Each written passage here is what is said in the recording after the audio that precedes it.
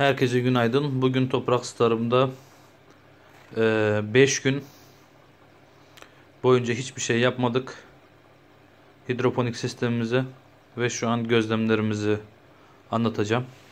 En sonda ki marulumuza bakıyoruz. Evet gayet hala yaşıyor. Yaprağında büyüme var. Evet ondan sonraki marulumuza bakıyoruz. Bir yaprağı kurumuş.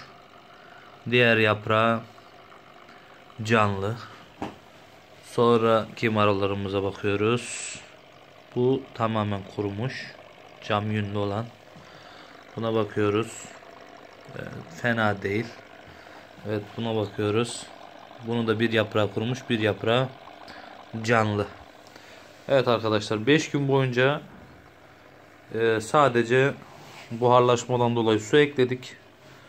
Ee, yani hiçbir şekilde bir besin vermedik. EC değerimiz 5.51 şey, pardon 551 daha hala kalibre yapmadım. Sadece su hava veriyoruz suya. Sadece hava veriyoruz suya. Şu an su ısısından ziyade birkaç tane arkadaşla görüştüm. Su ısısından ziyade hava ısısı daha önemli dedi. Ee, ben de onu suya soktuğum protu dışarıya çıkardım. Şöyle şu an şu an hava ısısı bakın şu alıcımız şurada.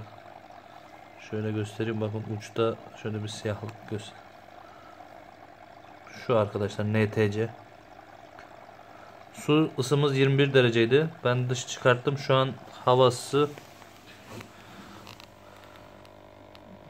19.9 9 9 yani 20 dereceye yakın arkadaşlar. Ee, marulun ısısı 20 ile 25 derece olması gerekiyormuş.